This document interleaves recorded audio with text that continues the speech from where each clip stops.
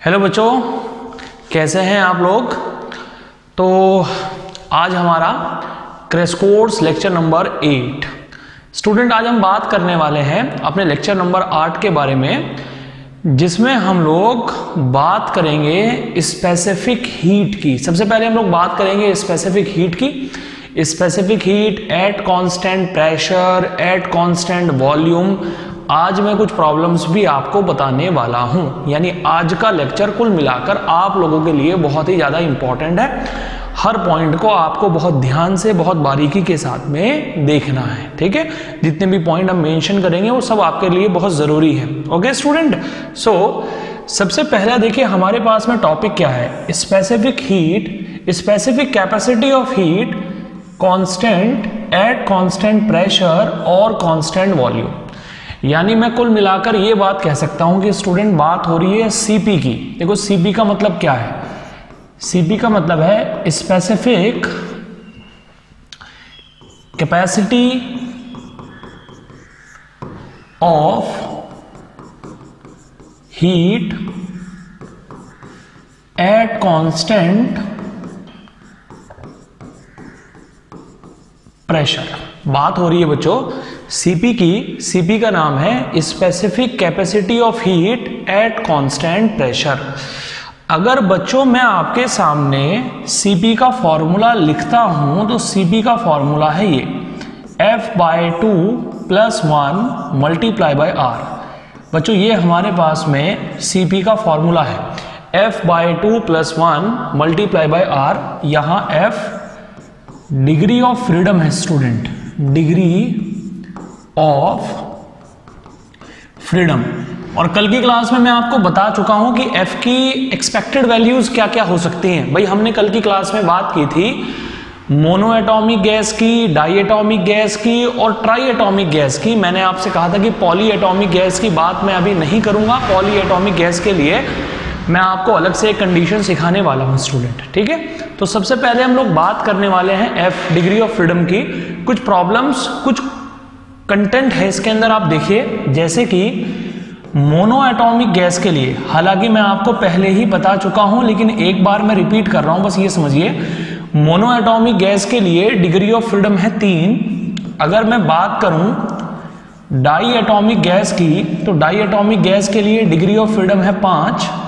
यदि मैं बात करता हूँ बच्चों ट्राई एटॉमिक गैस की, और ट्राई एटॉमिक में भी दो कंडीशंस आती हैं।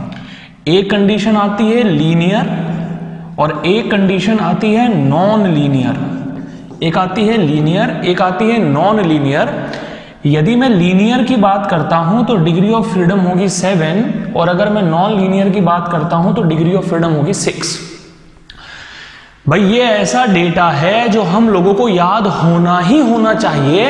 इसके अंदर कोई कॉम्प्रोमाइज नहीं है किसी भी तरीके का। ये हमें बिल्कुल अच्छे से याद होना चाहिए। सबसे पहली बात दिस इज़ सीपी सीपी यानी specific heat capacity f by two plus one multiply by r f की वैल्यूज़ क्या क्या हो सकती हैं? मोनो एटॉमिक गैस के लिए. आप जानते हैं मोनो एटॉमिक गैस के एग्जाम्पल्स क्या क्या हैं? जैसे कि हीलियम नियोन ऑर्गन एक्सेट्रा ये सारे के सारे हमारे मोनो एटॉमिक गैस के एग्ज़ाम्पल हैं. डाई एटॉमिक गैस के लिए बच्चों, जैसे कि H2 N2, O2, एक्सेट्रा और ट्राई एटॉमिक जैसे कि CO2, H2O, NO2, एक्सेट्रा ये सारे हमारे ट्राई एटॉमिक के एग्ज़ाम्पल हैं। इनमें अगर कोई सबसे महत्वपूर्ण बात है हमारे सीखने लायक तो वो तो एक तो ये वैल्यूज़ को याद करना है। मोनो एटॉमिक के लिए तीन है।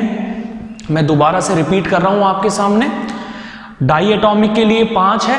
ट्राई एटॉमिक के लिए छह भी हो सकता है और सात भी हो सकता है, ये आपको याद रखना है। अच्छा ये हमारा सीपी का फॉर्मूला है स्टूडेंट अब आप इस फॉर्मूले में ये देखिए यार सीपी तो हमें पता चल गया। सीपी क्या है भाई हमारे पास में? सीपी है specific capacity of heat at constant pressure ठीक है? एफ़ है डिग्री ऑफ़ फ्रीडम आर क्या है बच्चों? आर पहले भी मैं आपको बता चुका हूँ कि आर है बच्चों गैस कांस्टेंट बच्चों आर है गैस कांस्टेंट और इसकी दो वैल्यूज़ हमें लेनी है। एक वैल्यू रहेगी 8.31 joule mole inverse kelvin inverse और दूसरी वैल्यू रहेगी 1.98 approximately two calorie mole inverse kelvin inverse यानी जब बात होगी जूल की, आपको रखना है 8.31 जूल का मतलब क्या है? जब एस आई यूनिट की बात होगी या एम के एस यूनिट की बात होगी, हमें आर की वैल्यू 8.31 रखनी है बच्चों। और जब बात होगी कैलोरी की, तब हमें रखनी है इसकी वैल्यू 1.98 या 2 ये बच्चों, हमारे पास में कुछ बेसिक है जो आप लोगों से अच्छे से आना चाहिए, ठीक है? चलिए, आप इसे अच्छे से नोट डाउन कर लीजिएगा। ये हो गई बात specific heat capacity specific heat capacity specific capacity of heat at constant pressure देखिए नेक्स्ट सिचुएशन बच्चों हमारे पास में क्या आती है? अगली सिचुएशन है स्टूडेंट हमारे पास में सीवी सीवी का नाम है specific capacity of heat capacity of heat at constant volume ठीक है बच्चों? सीवी का नाम है, जब वॉल्यूम कांस्टेंट रहेगा, तब स्पेसिफिक हीट कितनी है? मैं स्पेसिफिक हीट की डेफिनेशन आप लोगों को ऑलरेडी बता चुका हूँ। क्या होती है स्पेसिफिक हीट की डेफिनेशन वन ग्राम का वन ग्राम मटेरियल का temperature one degree Celsius rise करने के लिए, जिस हीट की हमें ज़रूरत होगी, वो हमारी स्पेसिफिक हीट कहलाएगी, बच्चों। तो यहाँ पर बात हो रही है सीवी की। सीवी क्या है? Specific capacity of heat at constant volume हम देखना चाहते हैं कि सीवी का फॉर्मूला क्या होगा। देखिए बच्चों सीवी का फॉर्मूला रहने वाला है ये एफ़ आर बाय टू ये हमारे पास में सीवी का फॉर्मूला है। एफ़ ऑलरेडी मैं आपको बता चुका हूँ डिग्री ऑफ़ फ्रीडम है। आर आपका गैस कांस्टेंट है। तो हम लोगों ने बच्चों सीपी की बात भी कर ली है। सीपी हमारे पास में है f by two plus one into r और सी हमारे पास में ये है। ठीक है? एक बड़ा ही इंपॉर्टेंट नोट पॉइंट है स्टूडेंट नोट पॉइंट ये है, अगर मैं कॉमन सीपी और सीवी के रिलेशन की बात करता हूँ तो रिलेशन बनेगा ये सीपी माइनस के CV is equal to r CP क्या है? Specific heat capacity at constant volume student हमारे पास में सीपी होना है specific heat capacity at constant pressure at constant pressure CV क्या है? Specific heat capacity at constant volume और इनके बीच में रिलेशन है ये सीपी माइनस के CV is equal to r यही रिलेशन बच्चों, हमारा हल्का सा चेंज हो जाता है रिलेशन बन जाता है सीपी डैश माइनस के C V dash is equal to capital r upon capital M देखो, ये भी एक इंपॉर्टेंट रिलेशन है हमारे पास में, लेकिन यहाँ ये जो सी पी डैश आपको दिख रहा है ना बच्चों, इसका मतलब है specific heat per unit molecular mass per unit molecular मास बच्चों क्वेश्चन बन जाता है पर यूनिट मॉलिकुलर मास की कंडीशन पर भी। आप ध्यान रखिएगा, Cp माइनस के Cv is equal to r ये तो मेयर फॉर्मूला है।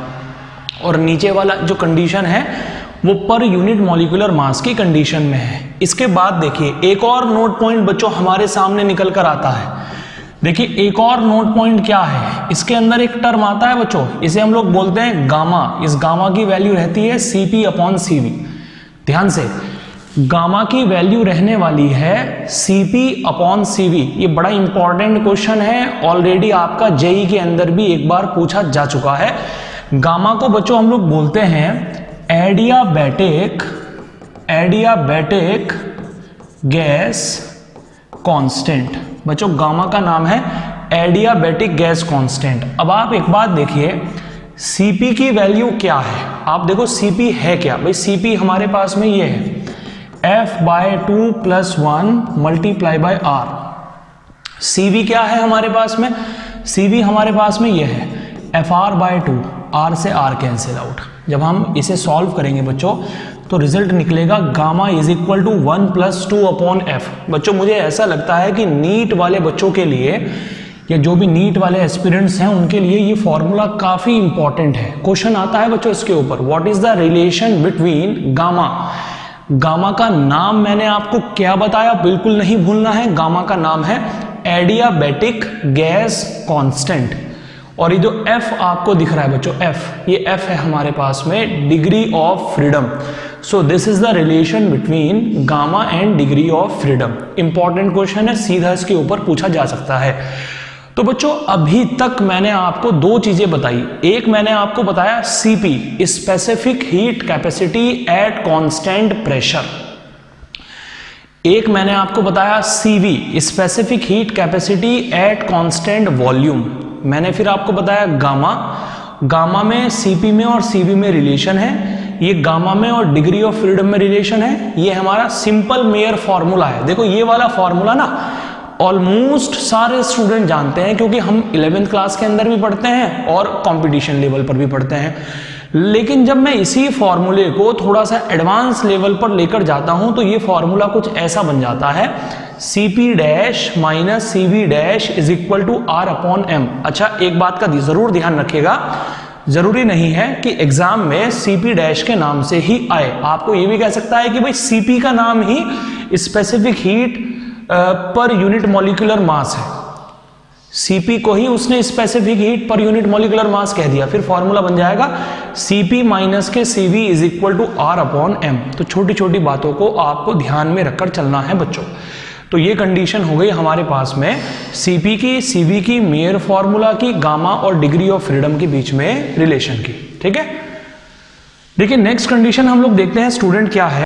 तो बच्चों, हम लोग बात कर रहे थे आइडियल गैस क्या है और रियल गैस क्या है? देखिए, जैसे कि सबसे पहले हम बात करते हैं आइडियल गैस की। आइडियल गैस वो गैस है जो गैस के लॉज को like Boyle's law Charles law Lussac law इन्हें सक्सेसफुली ओबे करती है। वो गैस जो इन सबको ओबे करती है, उस गैस को हम नाम देते हैं आइडियल गैस और जो गैस इन गैस के लॉज को ओबे नहीं कर पाती है, उसे हम नाम देते हैं रियल गैस।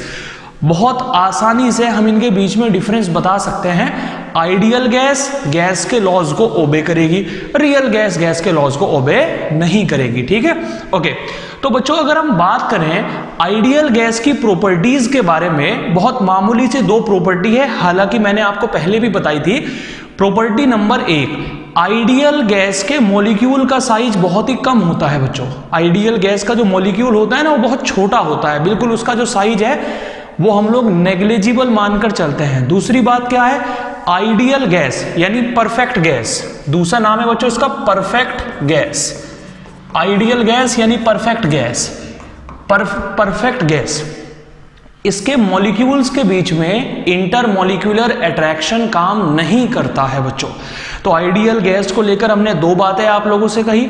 आइडियल गैस के मॉलिक्यूल का साइज़ बहुत छोटा है और दूसरी बात ये आइडियल गैस के मॉलिक्यूल्स के बीच में अट्रैक्शन काम नहीं करेगा। अच्छा अब आप एक बात देखिए, अगर आइडियल गैस जिसका दूसरा नाम परफेक्ट गैस है, अगर उसके मॉलिक्यूल्स के बीच में अट्रैक्शन काम नहीं करेगा तो आइडियल गैस की पोटेंशियल एनर्जी कितनी हो जाएगी? भैया पोटेंशियल एनर्जी बनती ही अट्रैक्शन की वजह से है यार। पोटेंशियल एनर्जी किस वजह से बनती है? पोटेंशियल एनर्जी बनती है मॉलिक्यूल के बीच में काम करने वाले फोर्स की वजह से। अगर मॉलिक्यूल के बीच में फोर्स ही काम नहीं करेगा तो इसका मतलब यह है कि परफेक्ट गैस या आइडियल गैस की जो पोटेंशियल एनर्जी होगी पोटेंशियल एनर्जी वो पोटेंशियल एनर्जी हो जाएगी स्टूडेंट ज़ीरो के बराबर। ये बात आप अच्छे तरीके से याद रखेंगे।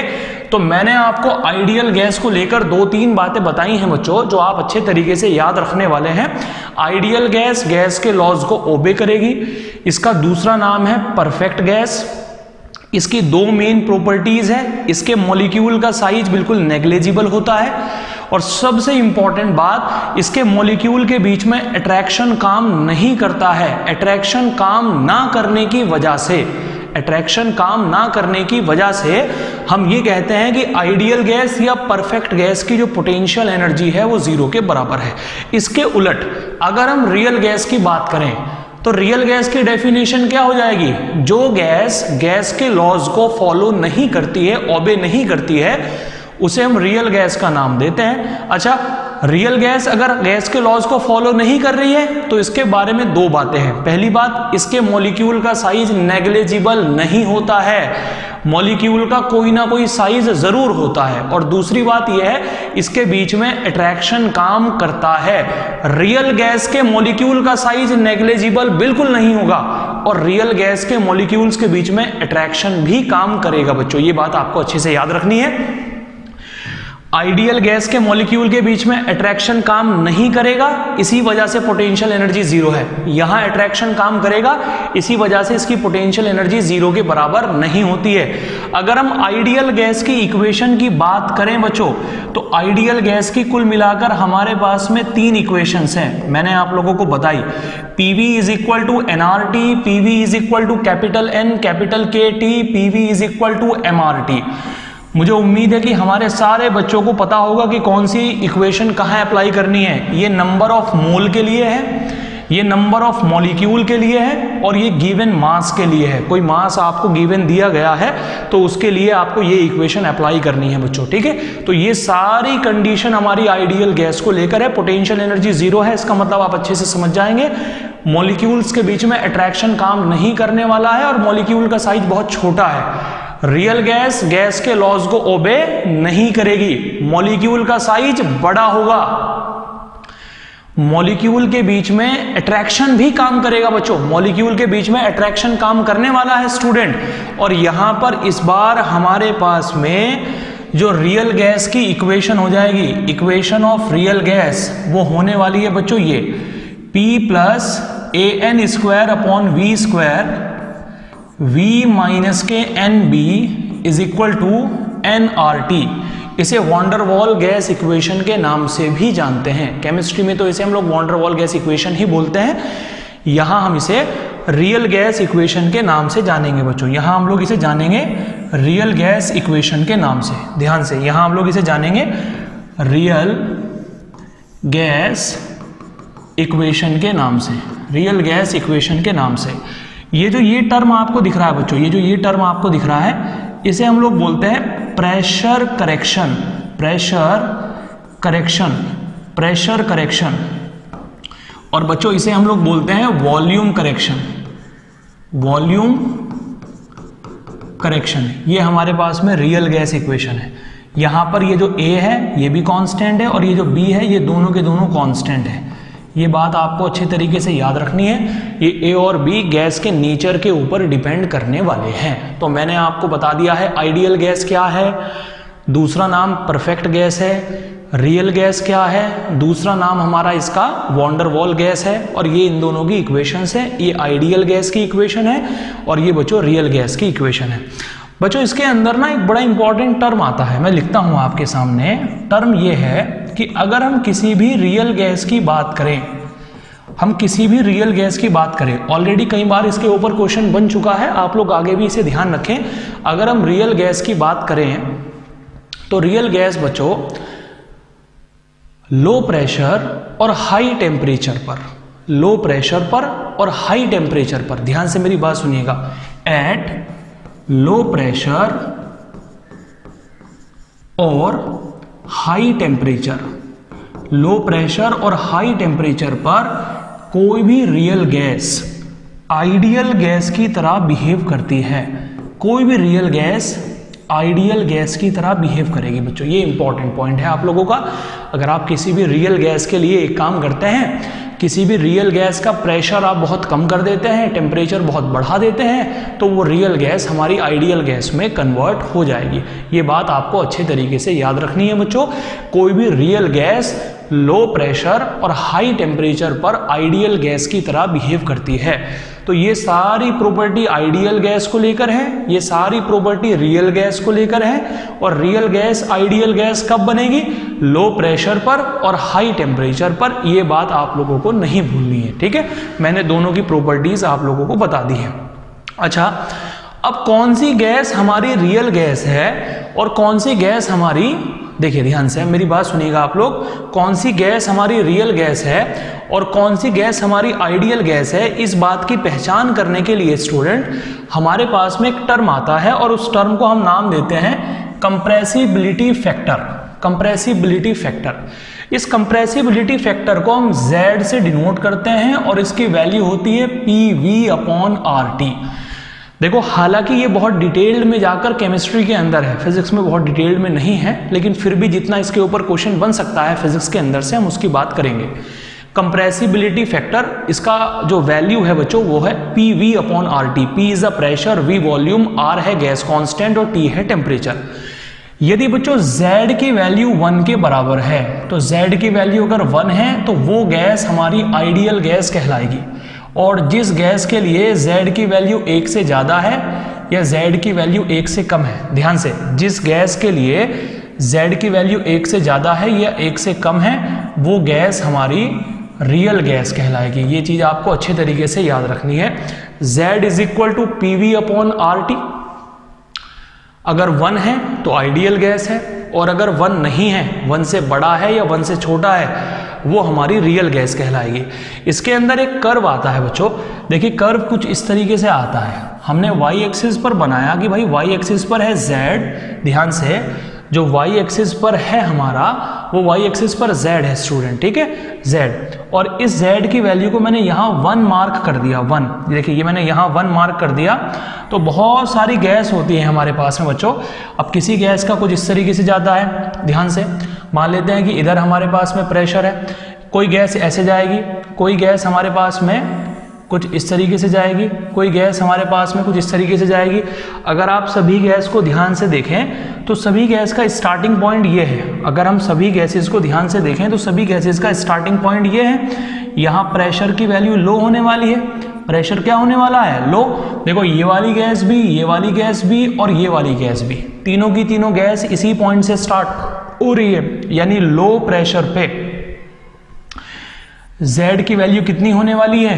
वन यानी ये सभी गैसेस लो प्रेशर पर Z की वैल्यू वन दिखाएँगी। यानी सभी गैसेस हमारी आइडियल गैस की तरह बिहेव करेंगी। तो ये बात आपको अच्छे तरीके से याद रखनी है। जिस गैस के लिए Z की वैल्यू वन है, वो आइडियल गैस है। जिस गैस के लिए Z की वैल्यू वन से ज़्यादा है या वन से कम है, वो हमारी आइडियल गैस नहीं है। ये ग्राफ हमें इस बात को रिप्रेजेंट करता है कि सभी ग्राफ हमारे यहाँ से चलेंगे इस पॉइंट से, और इस पॉइंट पर प्रेशर की वैल्यू लो है क्योंकि एक्स एक्सिस पर मैंने प्रेशर को दिखाया है। इस पॉइंट पर प्रेशर लो है, इसीलिए जितनी भी हमारी गैसेस हैं, वो सभी इसी पॉइंट से स्टार्ट हो रही हैं, और इस पॉइंट पर जेड की वैल्यू वन है, यानी लो प्रेशर पर सभी गैसेस के लिए जेड की वैल्यू वन है। इसका मतलब है कि सभी गैसेस लो प्रेशर पर आइडियल गैस की तरह बिहेव करने वाली हैं। तो बच्चों CP specific heat at constant pressure हो गया है सीवी हो गया है गामा हो गया है गामा में, यानी आपका एडियाबैटिक गैस कांस्टेंट में और डिग्री ऑफ़ फ्रीडम में रिलेशन हो गया है मेयर फॉर्मूला हो गया है मेयर फॉर्मूला की एक पर्टिकुलर फॉर्म हो गई है। उसके बाद आइडियल गैस क्या है? हमने आपको बताया। हमने आपको बताया कि रियल गैस क्या है। आइडियल गैस की तीन इक्वेशंस हमने आपको बताई।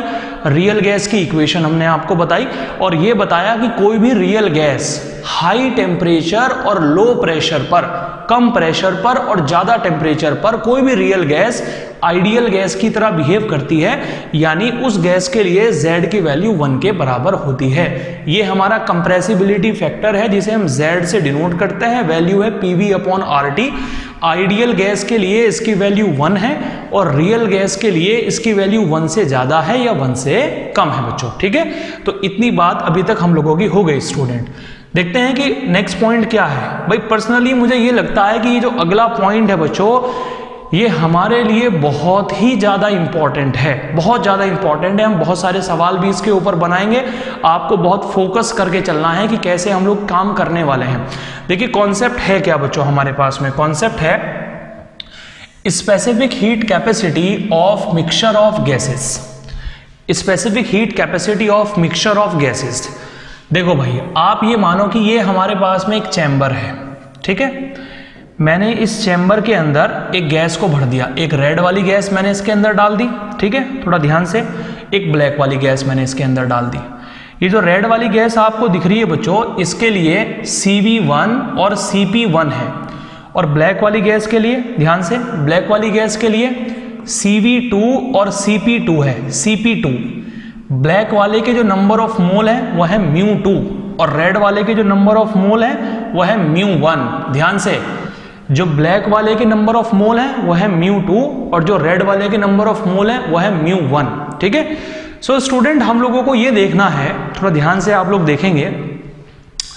हम लोगों को ये देखना है कि अगर दोनों गैसेस को आपस में कंबाइन कर दिया जाए, अगर दोनों गैसेस का एक मिक्सचर रेडी कर दिया जाए तो इस मिक्सचर के लिए गामा की वैल्यू क्या होने वाली है? हम लोगों को यह देखना है। देखो आप रेड वाली गैस के लिए CV1 ब्लैक वाली गैस के लिए CV2 रेड वाली गैस के number of mole mu one black वाली गैस के लिए number of mole mu two तो बच्चों, अगर मैं Cp निकालूं, यानी दोनों गैसेस के मिक्सचर के लिए कंबाइन सीपी निकालूं तो कंबाइन सीपी आने वाला है mu one CP one plus mu two CP two upon mu one plus mu two बच्चों इंपॉर्टेंट है, आप लोग ध्यान देकर चलिएगा ये मेरे पास में कंबाइन कंडीशन है सीपी की। ये मेरे पास में कंबाइन कंडीशन है सीपी की। Mu one C P one plus mu two C P two और अपॉन में है mu one plus mu two. अगर बच्चों मैं निकालता हूँ सी वी सी वी तो सी वी आएगा mu one, C V one, mu two, C V two upon mu one plus mu two. ये मेरे पास में कंबाइन का सी वी आने वाला है। मतलब दोनों गैसेस का जो मिक्सचर तैयार हुआ है, उसके लिए कुल मिलाकर specific heat capacity at constant pressure कितनी है? वो इतनी है। जो मिक्सचर तैयार हुआ है, उसके लिए कुल मिलाकर specific heat capacity at constant volume कितनी है? इतनी है। और अगर मुझे पूरी गैस के लिए गामा तैयार करना है, जिसका नाम है एडियाबैटिक गैस कांस्टेंट या ratio of CP upon CV कुछ भी नहीं करना यार तो बड़ा ही ईजी है। हम सीपी की वैल्यू यहाँ से उठाएँगे सीवी की वैल्यू यहाँ से उठाएँगे, दोनों की वैल्यू को पुट करेंगे कैलकुलेट करेंगे प्रॉब्लम सॉल्व हो जाएगी और पता चलेगा कि पूरा कुल मिलाकर टोटल टोटल का जो गामा हमारे आने वाला है बच्चों, वो इतना आने वाला है, ठीक है? So this is very important problem आप लोग इसे ध्यान में रखने वाले हैं। हम आगे चलकर काफ़ी सारी प्रॉब्लम्स भी इसके ऊपर बनाएँगे, क्योंकि पर्सनली हमें ऐसा लगता है कि अगर के से क्वेश्चन बनना चाहिए तो वो क्या तो स्पीड वाले टर्म से बनना चाहिए V R M S V average most probable speed या मिक्सचर से बनना चाहिए। इंपॉर्टेंट है, आप ध्यान देंगे। ओके ओके देखते हैं कि नेक्स्ट कंडीशन क्या है स्टूडेंट हमारे पास में। भाई, ये तो देखो सीधा सवाल आ गया यार। अभी जस्ट हम लोगों ने पढ़ा if the degree of freedom of a gas are F then the ratio of two specific heat is given by भाई स्पेसिफिक हीट का जो रेशो होता है, उसे बोलते हैं गामा क्या बोलते हैं? गामा और गामा में और डिग्री ऑफ़ फ्रीडम में मैंने तुम्हें क्या रिलेशन बताया? ये रिलेशन बताया, gamma is equal to one plus two upon F so correct answer is first ये जो फ़र्स्ट आंसर है, बच्चों, ये हमारा करेक्ट है। Gamma is equal to one plus two upon F हमारे पास में जो करेक्ट आंसर है, वो ये है this is the relation between gamma and degree of freedom gamma is equal to one plus two upon F कुछ नहीं करना है, सीधा है, बिल्कुल। ठीक है? नेक्स्ट देखते हैं नेक्स्ट क्या है? पहले हम लोग क्वेश्चन पढ़ते हैं ध्यान से कि प्रॉब्लम हमें क्या दे रखी है बच्चों? A gaseous mixture contain equal number of hydrogen means H two and nitrogen यानी N two molecules equal number of hydrogen and equal number of nitrogen ठीक है? ध्यान से जरा। आपके पास में जितना हाइड्रोजन है, उतना ही नाइट्रोजन है। ठीक है? Specific heat measurement on this mixture at temperature below 100 Kelvin would indicate that the value of, यानी रेशो ऑफ़ स्पेसिफिक हीट हमें बताना है कितना होगा। मींस बच्चों गामा हमें बताना है क्या होगा? Cp अपॉन सी वी अब तुम यार एक बात बताओ, जितने मॉलिक्यूल हाइड्रोजन के हैं, बिल्कुल उतने ही नाइट्रोजन के हैं। इक्वल नंबर ऑफ़ मोल हो गए दोनों के। इक्वल नंबर ऑफ़ मॉलिक्यूल है भैया, जितने हाइड्रोजन के हैं, उतने ही नाइट्रोजन के हैं। अगर ये डाई एटॉमिक गैस है, और वो भी डाई एटॉमिक गैस है तो इनका जो मिक्सचर होगा, वो भी कहीं ना कहीं डाई एटॉमिक की तरह ही बिहेव कर रहा होगा। अब डाई एटॉमिक गैस का जो हमारे पास में फॉर्मूला है, गामा निकालने का वो है ये। और डाई एटॉमिक गैस के लिए डिग्री ऑफ़ फ्रीडम होती है पाँच।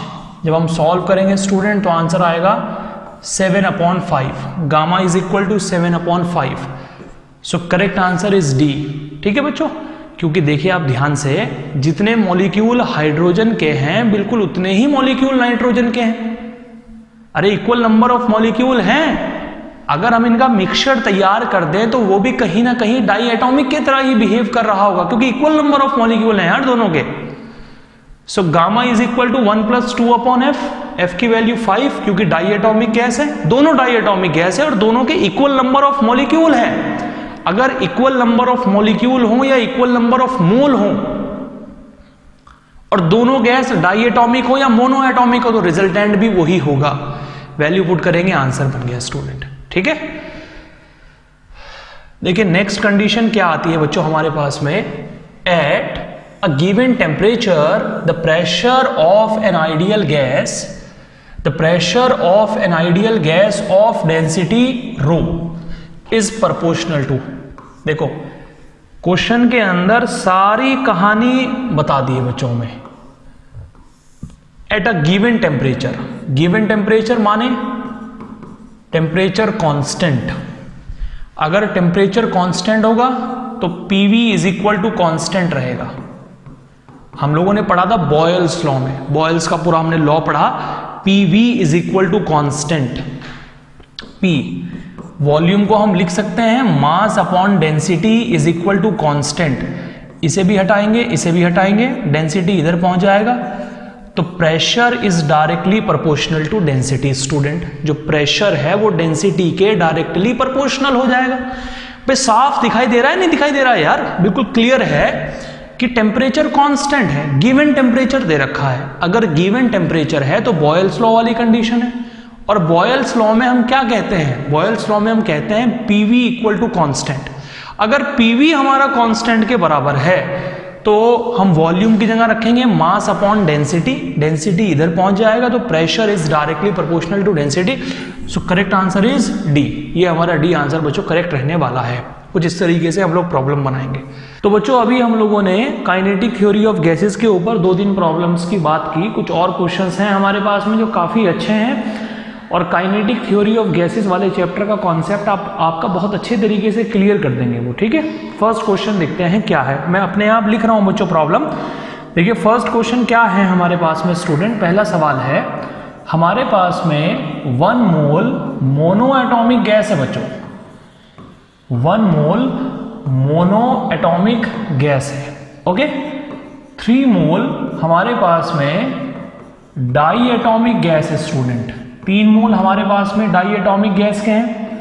अगर दोनों गैसेस का एक मिक्सचर तैयार किया जाता है, बच्चों, इन दोनों गैसेस का हम एक मिक्सचर तैयार करते हैं तो वो जो मिक्सचर तैयार होगा, उसके लिए सीवी कितना होना है? तो सबसे पहले हम लोग ये देखते हैं सीवी का फॉर्मूला क्या होता है? बच्चों सीवी का फॉर्मूला है F R by two F is the degree of freedom R है गैस कांस्टेंट और टू हमारे पास में सिंपल एक न्यूमेरिक वैल्यू है। ठीक है? तो मोनो एटॉमिक गैस के लिए सी वी वन हो गया। CV1 मोनो एटॉमिक गैस के लिए एफ़ यानी डिग्री ऑफ़ फ्रीडम थ्री होनी है बच्चों। तो सी वी वन हमारे पास में हो जाएगा three R by two okay diatomic gas के लिए डिग्री ऑफ़ फ्रीडम फाइव होनी है CV2 हो जाएगा फाइव आर बाय टू पहली गैस के जो नंबर ऑफ़ मोल है, वह है वन दूसरी गैस के नंबर ऑफ़ मोल जो है स्टूडेंट वो है थ्री ओके अब तो यार बड़ा आसान है. सी वी वन है म्यू वन भी है.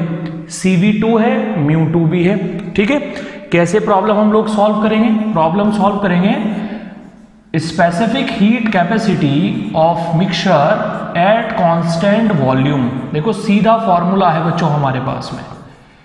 एक सीधा फॉर्मूला है हमारे पास में mu one C V one plus mu two C V two upon mu one plus mu two बच्चों, ये सीधा फॉर्मूला है हमारे पास में specific heat capacity at constant volume ठीक है? स्पेसिफिक हीट कांस्टेंट वॉल्यूम पर निकालने का। किसकी स्पेसिफिक हीट निकालने का?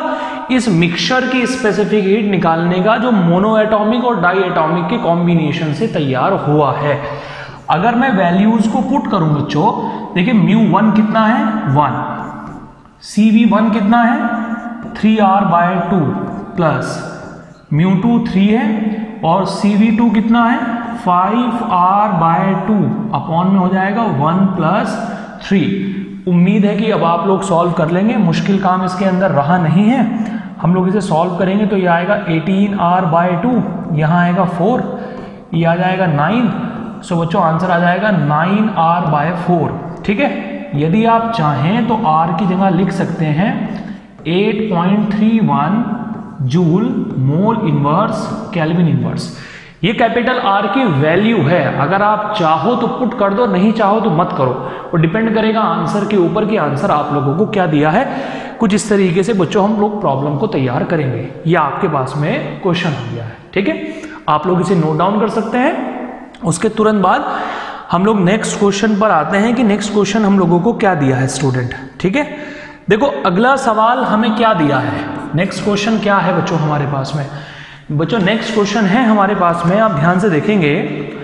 A gaseous mixture enclose in a vessel consist of one gram mole of gas A हमारे पास में कोई गैस ए है जिसका वन ग्राम मोल है, ठीक है? उस गैस के लिए गामा की जो वैल्यू है, देखिए, हमारे पास में सबसे पहले है गैस ए स्टूडेंट ये हमारे पास में गैस ए है बच्चों, और इस गैस ए के लिए इस गैस ए के लिए जो गामा की वैल्यू है वो है five by three gas A के लिए गामा की वैल्यू है फाइव अपॉन थ्री उसके बाद में देखिए another gas second gas student हमें दिए हैं. अनदर गैस गैस बी उसके लिए जो गामा की वैल्यू आपको दे रखी है बच्चों, वो है हमारे पास में सेवन अपॉन फाइव सेकेंड वाले के लिए गामा की वैल्यू है सेवन अपॉन फाइव टेम्परेचर दे रखा है T the gases A and B does not react gas A और गैस बी को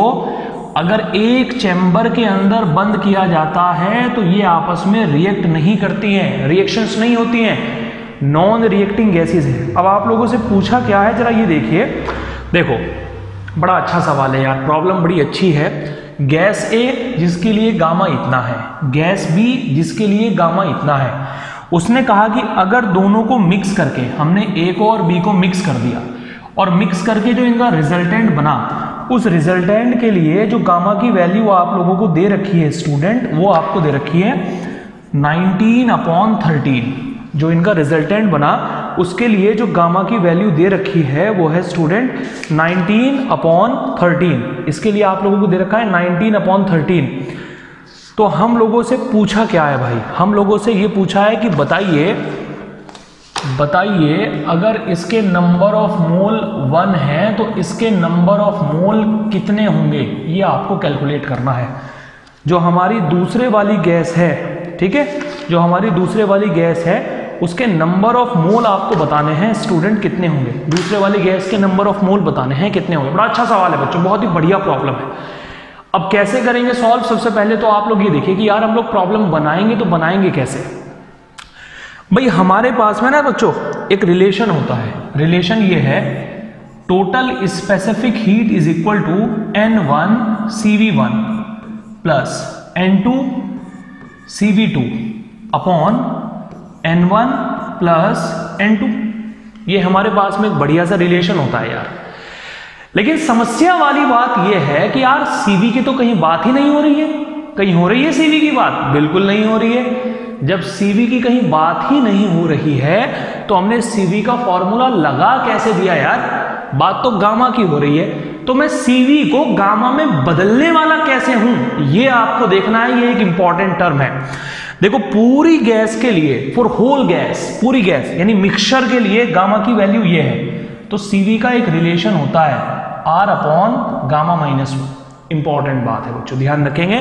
सीवी का एक रिलेशन होता है हमारे पास में R upon gamma minus one similarly n one हम सीवी वन को लिख सकते हैं R upon gamma one minus one इसे हम लिख सकते हैं n two R upon gamma two minus one और नीचे हो जाएगा हमारे पास में n one plus n two important relation है, बच्चों, मैं फिर कह रहा हूँ कि बहुत इंपॉर्टेंट है, आप ध्यान से देखकर चलें। अब हम लोग आगे इसे कैसे सॉल्व कर पाएँगे? देखो R R R cancel out हो गया। यहाँ क्या बचा हमारे पास में? One upon gamma minus one is equal to n one की वैल्यू हमें दे रखी है one one upon gamma one minus one plus n two हमें निकालना है। यहाँ हो गया है gamma two minus one n one की वैल्यू वन प्लस ये हो गया है एन टू बच्चों, ये कंडीशन हमारे पास में बन गई. अब हमें करना क्या है? क्वेश्चन आप लोग ही सॉल्व करेंगे. मैं सिर्फ़ गाइडेंस दूँगा आपको कि भाई करना क्या है आप लोगों को. आप इस गामा की जगह स्टूडेंट ये जो गामा आपको दिख रहा है ना, इस गामा की जगह आपको रखना है 19 अपॉन थर्टी इस गामा की जगह रखना है 19 अपॉन थर्टी ये जो गामा वन आपको दिख रहा है गामा वन इस गामा वन की जगह आपको रखना है फाइव अपॉन थ्री ये जो गामा टू आपको दिख रहा है, इस गामा टू की जगह बच्चों आपको रखना है गामा टू की जगह सेवन अपॉन फाइव ठीक है?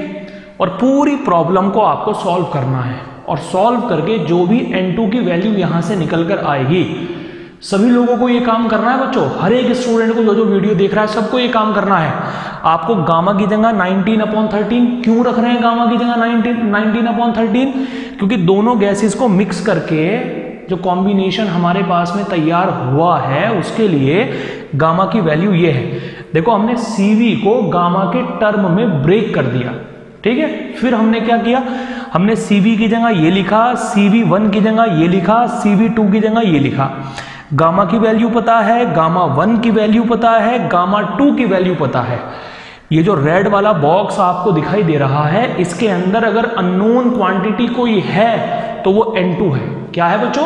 N2 यहाँ से आप लोग N2 की वैल्यू कैलकुलेट करेंगे और जितने भी स्टूडेंट इस वीडियो को देख रहे हैं, सबको कमेंट्स के अंदर ये आंसर आपको मेंशन करना है। सबको कमेंट्स के अंदर आंसर मेंशन करना है कि भाई इस क्वेश्चन का आंसर कितना आया है। मैं क्वेश्चन नंबर मेंशन कर रहा हूँ बच्चों यहाँ पर। ये हमारा क्वेश्चन नंबर फाइव है स्टूडेंट क्वेश्चन नंबर फाइव का आपको यहाँ पर मेंशन करना है कि एन की वैल्यू आने वाली कितनी है। ये सभी लोगों का काम है। ओके चलिए।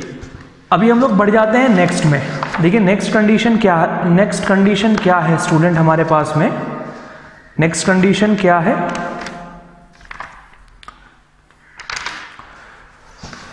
अगला क्वेश्चन क्या बना हमारे पास में? आप देखिए। तीनों सवाल जो मैंने आप लोगों को जस्ट अभी बताए हैं, ये काफ़ी इंपॉर्टेंट है। आप सभी लोगों से आने चाहिए।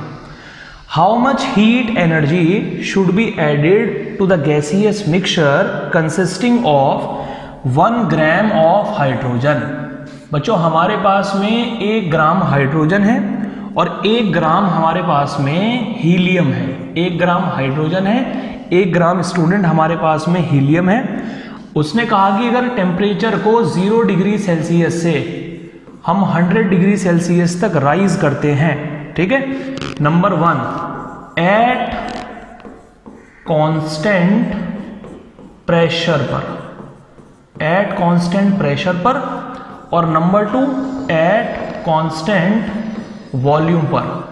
तो कितनी हीट की ज़रूरत पड़ने वाली है? बड़ा अच्छा सवाल है यार ये भी। क्वेश्चन देखो, बहुत अच्छा है। और हमें दिया है कि जो कैपिटल आर है यहाँ पर, उसकी जगह आपको रखना है two calorie mole inverse kelvin inverse this is the value of capital R capital R की जगह हम लोगों को ये रखना है, ठीक है?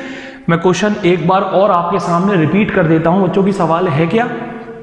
एक ग्राम हाइड्रोजन है, एक ग्राम हीलियम है, दोनों का मिक्सचर है, दोनों का मिक्सचर है हमारे पास में ओके मिक्सचर के बाद करना क्या है?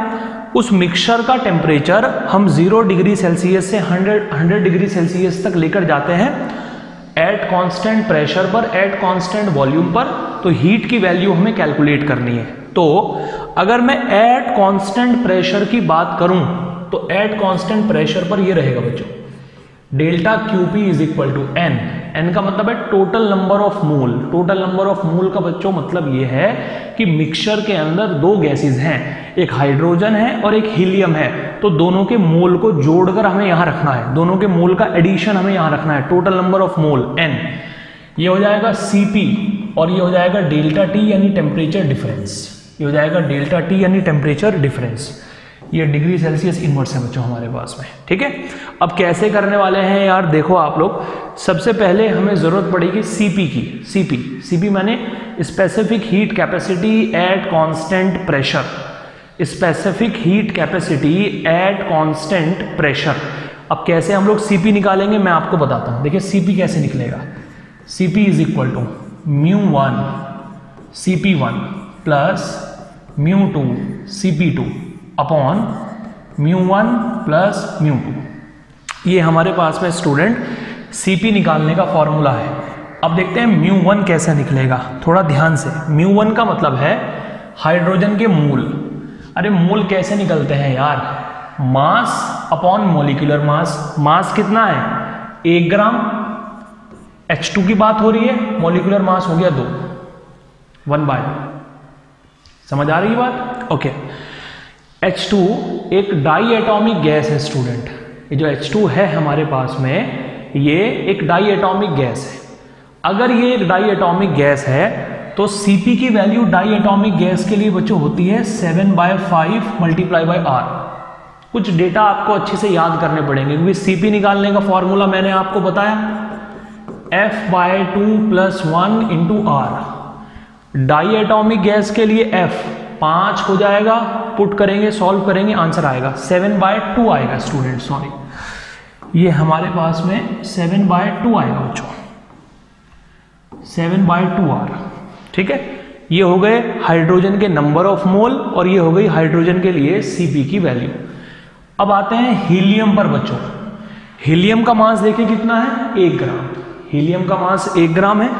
हीलियम का मोलिकुलर मास रहेगा चार। तो ये हो गया है वन बाय फोर अब हीलियम कैसी गैस है बच्चों? हीलियम हमारे पास में मोनो एटॉमिक गैस है, स्टूडेंट। जो हीलियम है, वो मोनो एटॉमिक गैस है।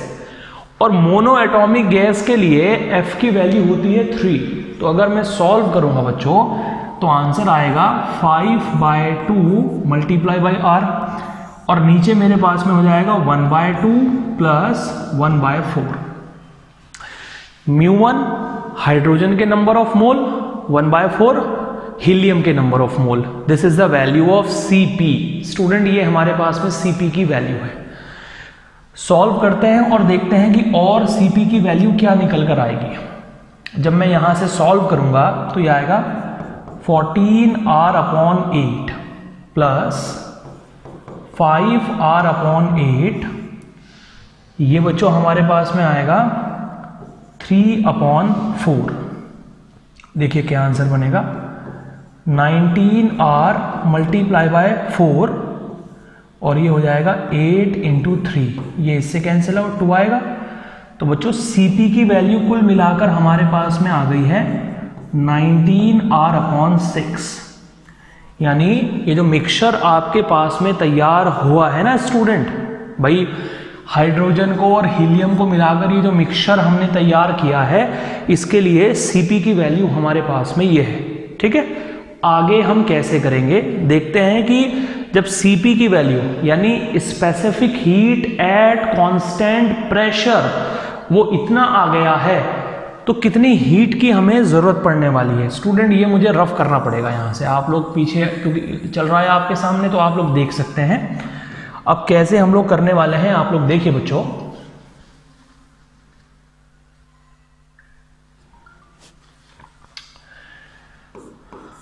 Delta Q is equal to n यानी नंबर ऑफ़ मोल हाइड्रोजन के number of mole one by two helium के number of mole one by four n की जगह आ जाएगा ये।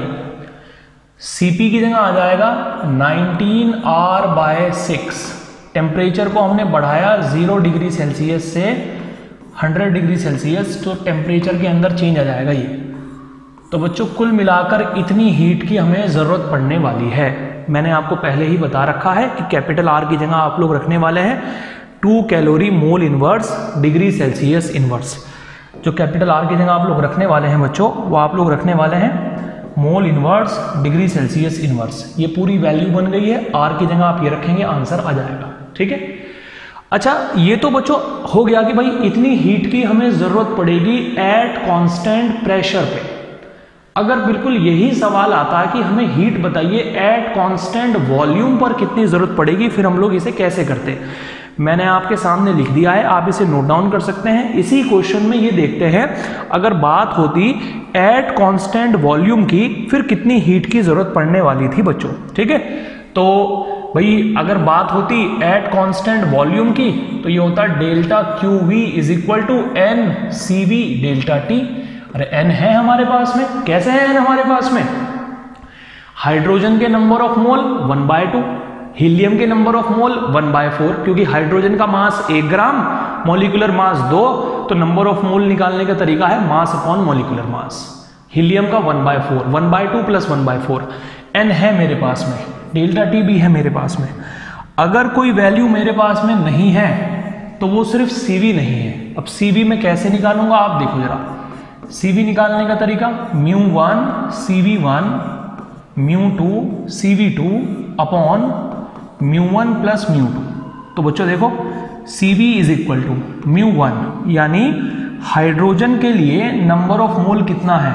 वन बाय सीवी निकालने का फॉर्मूला होता है बच्चों एफ़ आर बाय टू ये सीवी निकालने का तरीका है।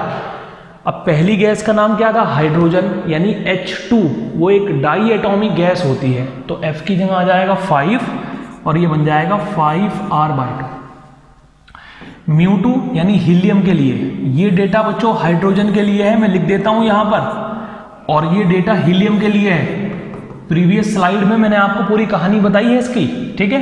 म्यू टू की value one by four, helium एक मोनो एटॉमिक गैस है तो यहाँ थ्री रखेंगे तो ये हो जाएगा थ्री आर बाय टू और नीचे हो जाएगा student one by two plus one by four तो बच्चों सिमिलरली आपकी सीवी की वैल्यू यहाँ से निकल गई। निकल गई है ना सीवी की वैल्यू? अब क्या करना है आपको, देखो। Delta Q is equal to n यानी नंबर ऑफ़ मोल इसकी जगह आप रखेंगे one by two plus one by four CV हमने निकाल दिया है इसकी वैल्यू यहाँ से ले जाके यहाँ रखेंगे और डेल्टा टी हो गया है 100 डेल्टा टी कैसे हो गया 100 टेम्परेचर को ज़ीरो से 100 तक लेकर गए। तो टेम्परेचर में डिफरेंस कितना आ गया? जब ज़ीरो से 100 तक बढ़ाया 100 माइनस के ज़ीरो 100 सीवी की वैल्यू यहाँ रखेंगे आर की जगह रखेंगे, दो calorie mole inverse degree Celsius inverse. Value put करेंगे, कुल मिलाकर आंसर निकल जाएगा बच्चों। इतनी हीट की हमें ज़रूरत पड़ने वाली है। तो बच्चों, कुल मिलाकर यहाँ से हमारे पास में जो रिज़ल्ट आता है, वो ये आता है, मैं लिख देता हूँ आपके सामने। अगर बात होती है हीट की कांस्टेंट प्रेशर पे तो फॉर्मूला होता है ये n C P delta T और अगर बात होती है कांस्टेंट वॉल्यूम पे तो फॉर्मूला होता है ये n C V delta T और अगर आपको सीपी निकालना है मिक्सचर का तो सीपी मिक्सचर का निकालने का फॉर्मूला ये है mu one C P one mu two C P two mu one plus mu two अगर सी वी निकालना है मिक्सचर का तो mu one C V one plus mu two C V two upon mu one plus mu two उसके बाद student एक important बात मैंने आपको बताई है यहाँ पर। नोट करने वाली बात है, अगर कहीं सीवी को गामा में कन्वर्ट करने की ज़रूरत पड़ जाती है तो बच्चों फॉर्मूला है ये। R upon gamma minus one अगर सीपी निकालने की ज़रूरत पड़ जाती है तो फॉर्मूला होता है सीपी माइनस के CV is equal to R CP is equal to हो जाएगा CV plus R so CP is equal to CV की वैल्यू ये है R upon gamma minus one ये हो जाएगा प्लस आर तो बच्चों ये हो जाएगा सीपी और ये हो जाएगा CV in terms of gamma इसके ऊपर भी क्वेश्चन आ जाते हैं।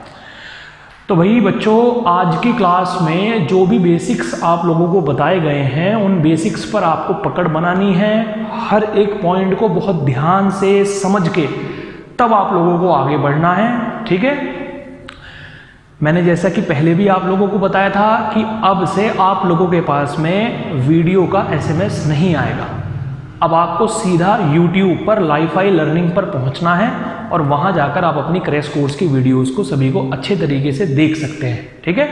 मॉर्निंग नाइन ओ आप लोगों की क्रैश की वीडियोस अपलोड कर दी जाएँगी तो आप लोग नाइन ओ से वीडियोस अपनी अच्छी तरीके से देख सकते हैं स्टूडेंट हर चीज़ को आप ध्यान से समझ के चलें, जहाँ भी आपको डाउट्स आए व्हाट्सएप नंबर हमारा स्क्रीन पर है कॉल आप कर सकते हैं, नंबर स्क्रीन के ऊपर मौजूद हैं। By WhatsApp by call by comments आप अपने डाउट्स को क्लियर कर सकते हैं। और बहुत ही जल्द हम आप लोगों के लिए लाइव सेशन लेकर आने वाले हैं स्टूडेंट और जैसा कि मैंने आपको बताया था कि एक अप्रैल से फ़र्स्ट अप्रैल से हम आप सभी लोगों को अपने प्लेटफॉर्म के ऊपर शिफ्ट करने वाले हैं, बच्चों।